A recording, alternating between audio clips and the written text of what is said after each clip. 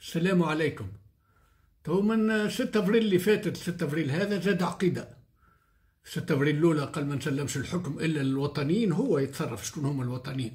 وفي هذه المرة هذه قال الترشحات اللي جاية هذيك كلها نتاع خونه وانتمائهم للخارج. وانتماءك لشكون أنت؟ شكون اللي باس الاكتاف شكون اللي تنازل على ثلث التراب التونسي؟ شكون اللي ما راجعش العقود اللي بيننا وبين الاستعمار القديم والجديد؟ يكفي يا راجل يرزي. وشكون يقرر اللي هذوما منتمين للخارج ولا يخدموا في الخارج ولا يخدموا في البلاد؟ شكون ما فما قضاء مستقل. انت نحيت له وظيفته. ولا قضاء نتاعك. وليزي نتاعك. والمجلس الأعلى للقضاء نتاعك. والمراسيم اللي تصدر فيها باش تحط الناس في الحبس نتاعك. شوف الناس يقولوا. في الداخل وفي الخارج. فضيحة. وصلنا لدرجة العبث. أما تو العبث ولا مخطر؟ هنو فما واحد عضو في الدرشنوة متاع الجهات وكذا كان نقيب في الجيش ولا رايد في الجيش اسمه حسن الشوالي. قال أنا مستعد نهز المكحلة والكرتوش ونضرب باش قيس سعيد يزيد يبقى. كما الآخر الرجل مايل السوري قال زاد أنا نضرب بالكرتوش باش النهضه تنحى. تونس باش تدخلها في حيط يا راجل. وحيط عنف والعنف يجيب العنف. وإحنا نستناو باش الإرهابي واللي يكثر اللي اللي العالم الكل قاعد يتفاوض ويتحالف باش يقضي عليه. تونس خطر تونس في خطر انت من الأول ما قدرت وبست الأكتاف و...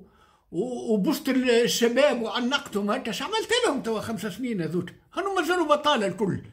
وتو باش تزيد تدجل على الشعب التونسي وتكذب عليه وهو يعرف اللي هو شاد الصفوف وما فما شيء.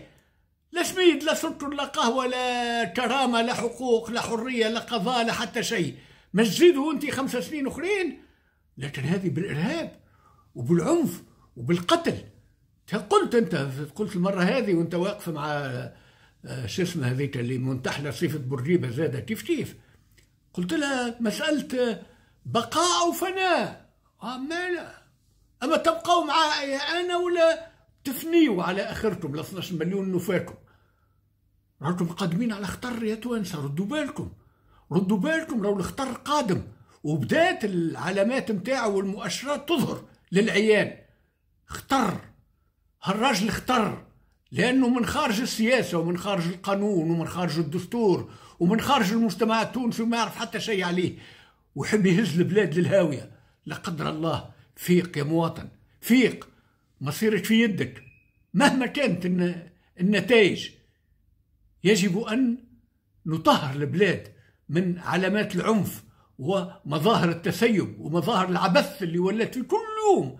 نحي هذا حط هذا نحي هذا حط هذا. وقضايا مغلوطة ويدور في في هاو في الحمامات هاو في شنو هاو ماشي المطار غزوة المطار العظمى.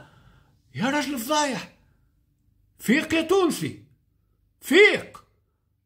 راهي آخر علامات. الساعة السياسية قادمت لك والساعة المدنية قادمت لك باش تونس ما توليش آه، مستنقع متاع فوضى ومتاع عنف ومتاع إرهاب. والسلام عليكم.